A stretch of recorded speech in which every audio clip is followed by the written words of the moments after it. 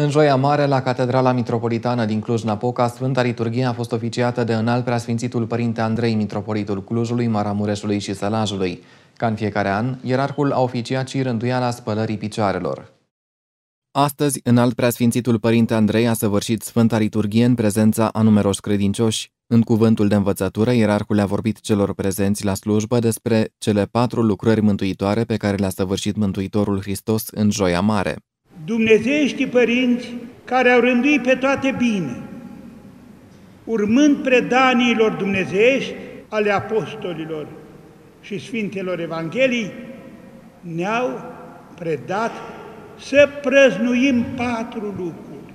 Sfânta spălare a picioarelor, cina cea de taină, adică predarea înfricoșătoarelor taine, rugăciunea cea mai presus de fire și vânzarea Domnului. Din aceste patru lucrări mântuitoare pe care Domnul Iisus Hristos le face în Joia Mare, eu mă opresc la una. Mă opresc la cina cea de taină, adică la predarea înfricoșătoarelor taine, la instituirea Sfintei și Dumnezeiești liturghii, cea mai mare slujbă pe care din porunca Lui noi o săvârșim până la sfârșitul viacurilor.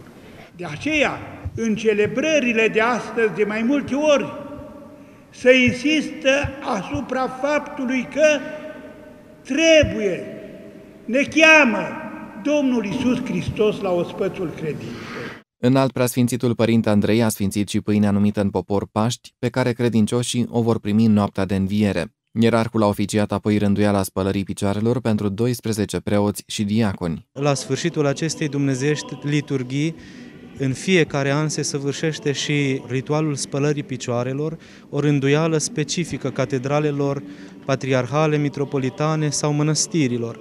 Această rânduială și are Originea chiar în Sfânta Evanghelie, Mântuitorul nostru Iisus Hristos, la cina cea de taină, a spălat picioarele ucenicilor săi, după care le-a spus că prin acest gest de smerenie pe care le-a arătat-o lor, a dat exemplul lor ca și ei, la rândul lor, să facă unul altuia astfel. De aceea, Biserica încă de la început, mai ales în zona Ierusalimului, a preluat acest obicei, a dezvoltat-o într-un ritual liturgic, iar mai apoi a fost preluată și de celelalte patriarhii. La Constantinopol, acest ritual de spălare a picioarelor avea rolul și de a reconcilia oarecum pe patriarhul de la Constantinopol cu soborul său, cu ceilalți clerici din soborul Patriarhiei de Constantinopol. Și bineînțeles că această rânduială apoi s-a răspândit în, în lumea ortodoxă, dar și în celelalte rituri și în ritul apusian. Rânduiala spălării picioarelor rememorează momentul când Mântuitorul a spălat picioarele apostolilor și reprezintă o pildă de dragoste și un îndemn la smerenie și iubire de aproapele.